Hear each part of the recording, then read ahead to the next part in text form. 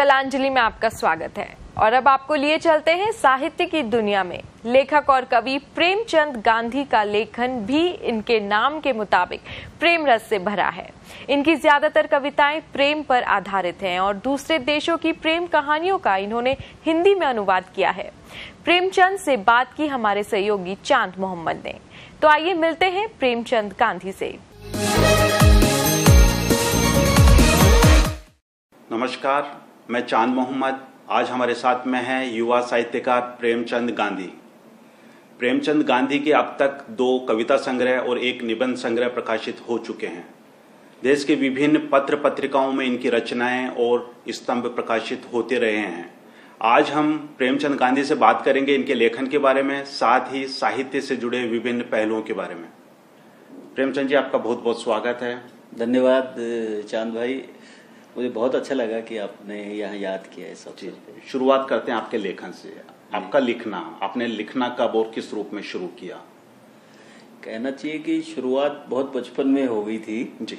लेकिन कभी सोचा नहीं था कि ऐसे लेखक बनेंगे। आ, हमारे स्कूल में एक टीचर ने एक बार कहा कि तुम आ, सब लोगों को कहा कि आप अपने मन से कुछ भी लिखिए। जी। तो किसी ने कविता लिखी किसी ने कहानी लिखी किसी ने निबंध लिखा। तो मैंने ऐसे ही एक यात्रा संस्मरण की तरह से लिखता गया। और वो पूरा नहीं हुआ वो पीरियड में। तो उन्होंने कहा कि क्या हुआ तुम्हारा कॉपी नहीं दी? मैंने कहा अभी पूरा नहीं हुआ मेरा लिखना।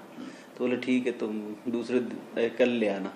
तो फिर मैंने घर जाके उस पूरे एक यात्रा संस्मरण की शैली में उसको पूरा लिखा। और फिर उनको दिखाया। तो उन्होंने कहा ये कहाँ से लिखा तुमने? मैंने कहा ये तो मैंने अपने आप लिखा जी। तब वो गुरु जी को लगा कि इस लड़के में कुछ है। तब उन्होंने मुझे कुछ सिखाया।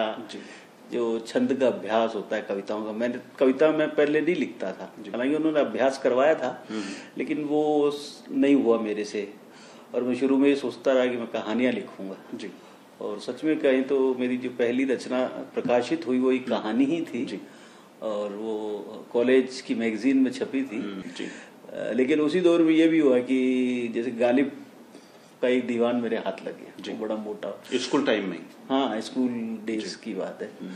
तो उसको मैंने कई बार पढ़ा और उसके प्रभाव में ही हुआ कि मैंने कुछ शेर नुमा चीज़ें कहना शुरू किया और अपनी एक पूरी कॉपी वो भी भर ली थी कि शेर गजलें लिखी हुई है। जी। और उन दिनों में कुछ प्रभाव अपने भक्ति संगीत का भी था। तो हुआ ये कि मैंने कई भजन भी लिखे। तो बच लेकिन फिर बाद में जब लेखकों का साथ मिला या कहना चाहिए कि जब पता चला कि लिखना आधुनिक लिखना क्या होता है जी जी। तब फिर धीरे धीरे लेखकों से जुड़ते गए। आधुनिक साहित्य जो पत्रिकाओं में छपता है अखबारों में छपता है। जी। मुझे तो कई बार खुशी होती है कि मैं बतौर अखबार मैंने शायद सबसे ज़्यादा राजस्थान पत्रिका के लिए लिखा होगा। जी जी। आपने शुरू शुरू में आपने बताया कि शुरू में आपने उपन्यास भी लिखा यात्रा वृतांत भी लिखा कविताएँ गज़ल और शेर की तरफ़ भी आप बढ़े। और फिर इस कविता विधा की तरफ़ क्यों आए? क्यों लगा आपको कि सबके साथ कविता ज़्यादा ठीक रहेगी? मुझे पता नहीं क्यों ये लगता रहा कि एक समय तक कि कहानी या उपन्यास लिखना जो है ना जी। वो बहुत बड़ी तैयारी मानता है। हम्म, और वो ऐसा है जैसे कि आपको एक घर बनाना है। जी। तो घर बनाने के लिए आप एक आदमी अकेला घर नहीं बना सकता। अगर आप अपना घर बनाएँगे तो उसके लिए आपको बहुत सारे लोगों की ज़रूरत होगी। आपको कारीगर भी चाहिएगा, आपको खाती की भी ज़रूरत पड़ेगी, आपको प्लम्बर की भी ज़रूरत पड़ेगी। बहुत सारे लोग मिलके एक घर बनाते हैं। और अगर आप अकेले बनाने लगे तो एक आदमी शायद कोई पहाड़ी खोद सकता है लेकिन घर नहीं बना सकता। अकेला आदमी चाहे तो कि वही उसकी नींव भी खोद लेगा वही दीवारें खड़ी कर देगा वही प्लास्टर कर देगा। सब चीज़ें अकेले आदमी के बस की नहीं होती शायद। लेकिन फिर अ, उसके बाद मैंने बहुत समय तक कविताएँ ही लिखी।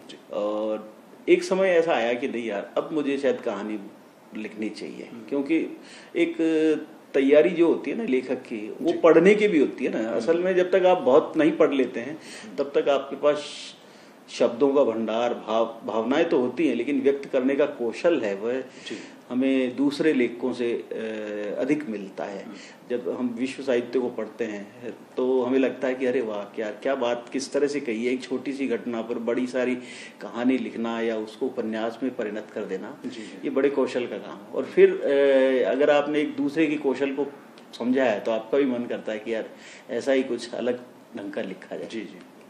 आपका पहला जो कविता संग्रह आया इस सिम्फनी में उसमें आपने किस तरह की कविताएँ शामिल की? उसमें असल में वो एक लंबे दौर की कविताएँ थी। मतलब कहना चाहिए बीस साल के लगभग दौर था मेरा लिखने का।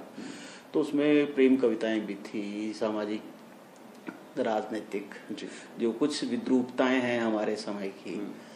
तो उन सब में से कुछ छांट कर हमारे एक बड़े कवि मित्र थे नीलाभ। जिनकी अभी डेथ हो गई दो साल पहले। तो नीलाब जी ने वो छापा था इलाहाबाद से और उसका रेस्पॉन्स बहुत अच्छा मिला मुझे। बहुत सारे लेखकों ने उस, उस पर लिखा भी और संयोग से उस पर दो पुरस्कार भी मिले। तो फिर उसके बाद वो सिलसिला चल पड़ा कविताएँ सब तरह की लिखी गई हैं। आपको कब लगता है कि कविता लिखी जानी चाहिए? किसी सब्जेक्ट को किस तरह महसूस करना और फिर उसके बाद लेखन की प्रक्रिया शुरू हो जाना? असल में कविता तो जो जैसे गालिब ने कहा ना आते हैं गैब से मजामीन ख्याल में। तो कविता हमेशा आप ये तय करके नहीं कर सकते कि ये कविता मुझे लिखनी है। वो बिल्कुल आप पर आयद होती है मतलब कि आप कोशिश करके कविता नहीं लिखी जा सकती। आपका जो दूसरा काव्य संग्रह है चाँद के आईने में वो उसमें आपने जो कविताएँ ली वो किस तरह की शामिल की? असल में हम लोग जिस पीढ़ी से आए हैं वो मतलब सिनेमा के लिहाज से देखे तो शायद वो संगीत का बहुत सुनहरी दौर था हमारा। और जैसे मैंने आपको अभी बताया कि गालिब का एक बड़ा प्रभाव मेरी मानसिकता पर बचपन में ही पड़ गया था। तो इस दूसरे संग्रह में सभी कविताएँ प्रेम कविताएँ जी। और एक ऐसे समय में जब हम लोग लगातार देख रहे हैं कि प्रेम के नाम पर सबसे ज़्यादा बवाल मचता है। जी। प्रेम संबंधों को लेकर समाज इतना ज़्यादा उद्वेलित है। जी। तो ऐसे समय में प्रेम की बात करना जब हर कोई प्रेम का दुश्मन बना जा रहा है जी, जी. ये एक बड़ी चुनौती की तरह था और मैंने इस दौर में बहुत सारी प्रेम कविताएँ लिखी हैं जिसमें एक संग्रह इस संग्रह में भी हैं और उसके अलावा भी एक और पूरा संग्रह मेरे पास प्रेम कविताओं का तैयार है। जैसे आपने बताया प्रेम कविताएँ आपने लिखी। आपकी कविताओं में एक बड़ी तादाद प्रेम कविताओं की है। दूसरी तरफ़ आपके नाम में भी प्रेम शामिल है। और तीसरा पहलू ये कि आपने जो कहानियाँ लिखी वो प्रेम कहानियाँ जो है विदेशी साहित्य में लिखी गई उनका अनुवाद भी किया। ये प्रेम के प्रति आपका जो प्रेम है इस सब के पीछे क्या मुझे लगता है कि शायद जो नाम का असर होता है ना कि आप अपने नाम हर आदमी को जो नाम मिलता है तो कई बार वो उससे आइडेंटिफाई करता है अपने आप को कि मेरे नाम में जो चीज़ है वो मैं अभिव्यक्त अभिव्यक्त करूँ। अपने नाम को डेपिक्ट करने की एक मानसिकता लेखक में होती है। तो मुझे लगता है कि शायद वही कारण रहा। हालाँकि जब मैंने प्रेम कविताएँ लिखी या अनुवाद किए तो अनुवाद वाला मामला तो ये था कि जो अखबार डेली न्यूज़ शुरू हुआ तो उसमें ये था कि युवा पाठकों के लिए कुछ विशेष जाना चाहिए। तो उसमें ये था कि चलो एक प्रेम कहानियों का कॉलम शुरू किया जाए। प्रेम कविता और कविताओं पे बात चल रही तो आपकी कोई ऐसी प्रेम कविता जो आपको पसंद है? सारी कविताएँ पसंद होती है एक कवि के लिए। कुछ खास पसंद प्रेम पे आधारित नहीं कोई कविता? वही मैं मैं सिर्फ़ एक कविता आपको सुनाऊँगा। हम्म। इसका शीर्षक है दूर हो या पास। कितनी लंबी दूरियाँ हैं और कितनी सीमाएँ हैं हमारे बीच कि जब दर्द से फटा जा रहा हो तुम्हारा सिर मैं कुछ नहीं कर सकता सिवा सांत्वना के दो शब्द कहने के। क्या? जब तुम्हें सबसे ज़्यादा ज़रूरत होती है मेरी मैं तुम्हारे पास नहीं होता। जब तुम्हें चाहिए होता है मेरा हाथ मैं नहीं होता अक्सर तुम्हारे साथ। कितनी भोली और भली हो तुम, जो सहज ही कर लेती हो मुझ पर विश्वास। मैं नहीं जानता कैसे काम कर जाते हैं मेरे कुछ शब्द, तेज बुखार या भयानक सिरदर्द में। मेरे जुकाम पर घर को अस्पताल बना देने वाली मेरी बातों से क्यों बहल जाती हो? इतना भोलापन अच्छा नहीं। कब समझोगी तुम कि मेरे शब्द पुरुषोचित संजीदगी से ज़्यादा कुछ नहीं। तुम्हारे साथ या पास होकर भी मैं क्या कर लेता? सिर दबा देता या माथा चूम लेता और तुम खुश हो जाती। हम दूर हों या पास, मगर एक साथ, एक विश्वास भरे स्पर्श या चुंबन की प्रतीक्षा में ज़िंदगी जीने का रोज़ाना अभ्यास करते हैं। आपके स्तंभ के जो सब्जेक्ट हैं, वो किस तरह के हुआ करते थे? असल में तो मैं आर्ट और कल्चर पे जो कॉलम मेरे रहे हैं वो लिखता था। लेकिन अ, मुझे ये भी लगता रहा कि कला और संस्कृति का समाज से भी गहरा संबंध है। तो जब कभी मान लीजिए किसी चित्र पर या किसी फ़िल्म पर विवाद हो जाए तो मुझे लगता है कि यार ये लोग शायद कला को नहीं समझते हैं। तब फिर मुझे कला की सामाजिक चेतना क्या होती है? साहित्य की सामाजिक चेतना क्या होती है? उस तरह की चीज़ों पर मैंने अपने कला वाले स्तंभ लिखे। या कि दुनिया भर में जैसे दूसरे देशों के बड़े लेखक हैं वो क्या करते हैं? वो कैसे लिखते हैं? उनके विषय क्या होते हैं? एक स्तंभ मैंने वो जो पाकिस्तान के एक पत्रिका के लिए भी काम किया मैंने। तो उसमें उनका ये था कि हमसाया देश नाम था उस कॉलम का तो वो उर्दू में छपता था। तो खैर मैं तो हिंदी में लिखता हूँ लेकिन वो उस लो, वो लोग उसको ट्रांसलेशन करते थे। ट्रांसलेशन क्या करना चाहिए? स्क्रिप्ट चे- चेंज करते थे। वो उसमें तो उसमें यह था कि भारत और पाकिस्तान के जो लोगों के बीच में जो क्या संबंध होना चाहिए उसको लेकर ये बात होती थी कि अगर हिंदुस्तान में कोई चीज़ घटती है उसका वहाँ पर क्या असर हो सकता है या वहाँ पर कोई चीज़ हो रही है तो हम लोग उसके बारे में क्या सोचते हैं? वो बहुत पसंद किया गया। और जब मैं वहाँ गया पाकिस्तान दो बार गया हूँ तो वहाँ के लोगों ने भी बहुत मोहब्बत से मतलब लेखकों के प्रति कलाकारों के प्रति दोनों देशों में आपने देखा इतने सालों से देख रहे हैं कि लोग बहुत अच्छे हैं। थोड़ा बहुत जो असर है वो राजनीतिक वजह से होता है वरना लोग हर तरफ़ अच्छे हैं और एक दूसरे से मोहब्बत से रहना चाहते हैं नया जो लेखन आ रहा है नया जो लिखा जा रहा है चाहे वो कविता हो कहानी हो या उपन्यास हो क्या, क्या मानना है आपका कि बहुत अलग हटके अच्छा आ रहा है या उसमें कहीं कुछ सुधार की गुंजाइश आप मानते हैं?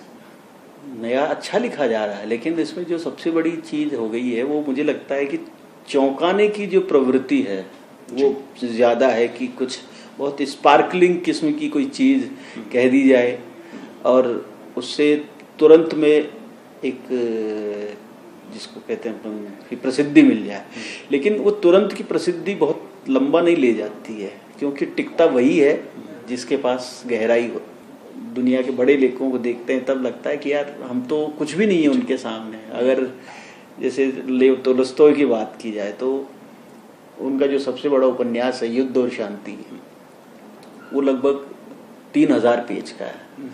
और कहते हैं कि तीन हज़ार पेज के लिए उन्होंने छह ड्राफ्ट किए उसके।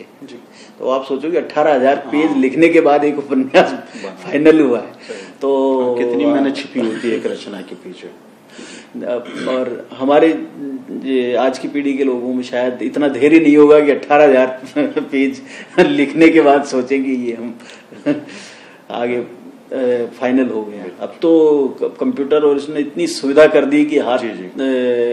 बोल के भी लिख सकते हैं आप।